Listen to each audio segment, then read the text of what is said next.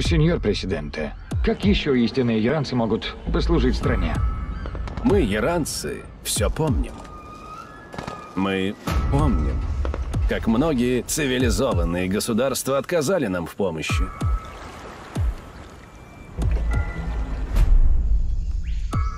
Вас беспокоят террористы, что называют себя «Либертат».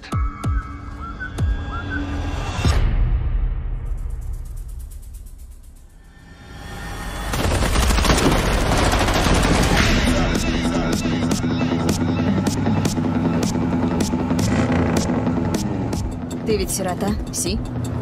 Почему хочешь бежать? Помни, Дани, твои родители мертвы из-за Кастилии. Я вижу лишь тебя. Зачем ты здесь? На моих глазах он приказал убить кучу наших людей. И я хочу знать, кто поможет мне свергнуть его. Ладно. У Кастильо всего сотни три солдат. У тебя шесть потрепанных вояк. И еще пуля в ноге. Будешь стрелять, раз можешь. У тебя есть принципы. Ты умеешь убивать, но ты не убийца. Ты же знаешь, я не повстанец. Всему можно дать новую жизнь.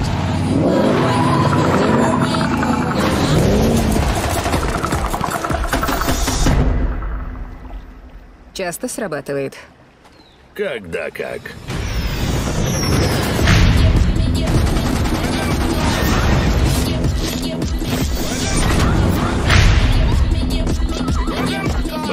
Глазам, Дани, я вижу твою суть.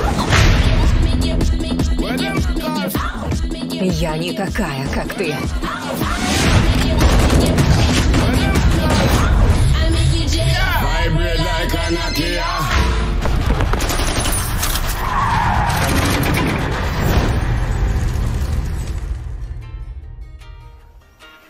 Так, Гуапо, правило 16. Революция не заканчивается. Всегда найдется новая война и бар с уродливым барменом.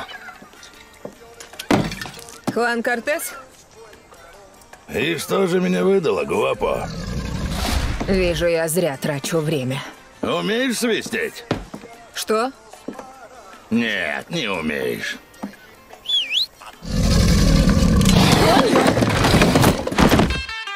Неплохо, Дани, но это только начало. Первое правило. Хороший повстанец, незаметный повстанец. Muerto el perro, se acabó la rabia. Мы управляем операциями из секретных лагерей по всей стране. Здесь повстанцы живут, обучаются и строят планы. Значит так. Идем, вытаскиваем наших, врагов убиваем. Поставляй припасы. А вот и Дани. Ты придашь нашему движению сил. Так и есть. В лагерях есть повара, торговцы черного рынка, возможность укрыться, все, что нужно повстанцу. Даже самодельный транспорт. Тебе понравится, Дани.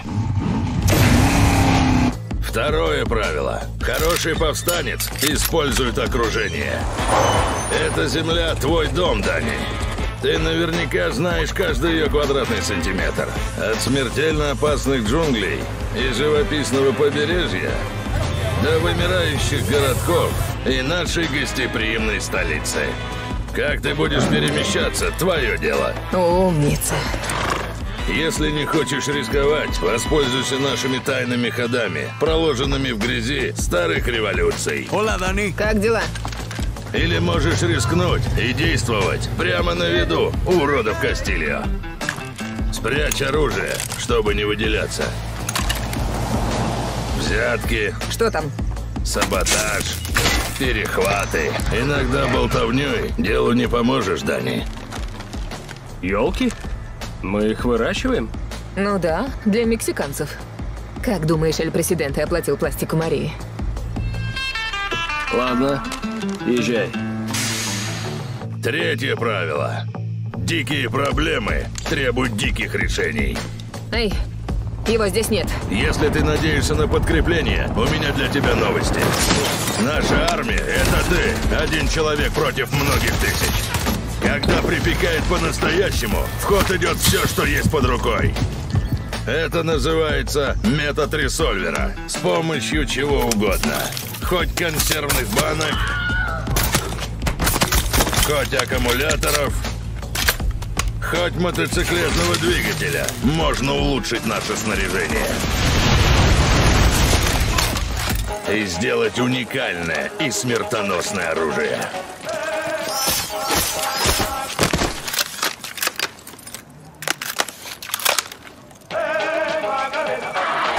Вот это другое дело. Это рюкзаки Супремо. Я лично их мастерю. Любой из них позволит тебе в одиночку сражаться за целое войско.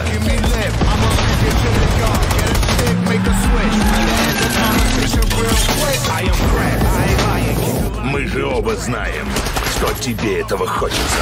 Ты повстанец. А для таких людей бешеный стук сердца, когда ты в засаде. И сладкий вкус победы, когда освобождаешь свой народ от тирана. Это...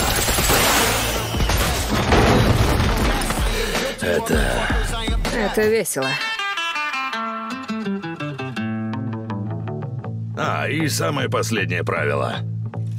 Хороший повстанец всегда берет с собой друга. Для моральной поддержки.